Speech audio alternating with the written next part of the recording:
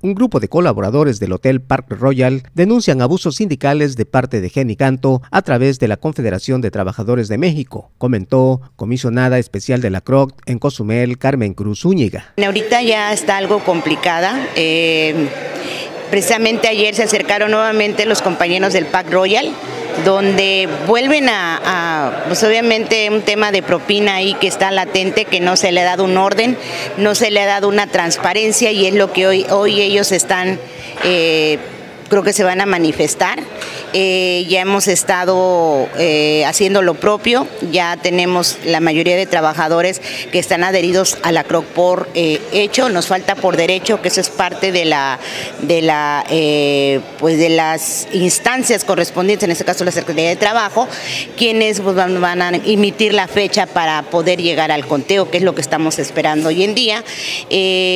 pues sabemos este con todos los cambios que ha habido hoy en día, pues obviamente son procesos que tenemos que esperar, por eso obviamente hoy pues este van a hacerle un llamado eh, eh, pues que nos que apoyen eh, este la secretaria de trabajo por su parte, el representante del grupo de trabajadores inconformes, Alejandro Zip, comentó. Nuevamente nuestros derechos han sido violentados de parte de la CTM, de la cual ella ha tomado la decisión pues, de estar dividiendo nuestra propina a su manera, entonces la inconformidad de nosotros es venir a esto para estar exigiendo que nuestra propina ya deje de estar violentando nuestra propina, ya que nos deje en paz. Nosotros hemos elegido un sindicato que es la CROC y hemos tenido muchos problemas a base de eso. Hemos tenido gente que se ha despedido, gente que ha sido acosada en el hotel y no se ha hecho nada.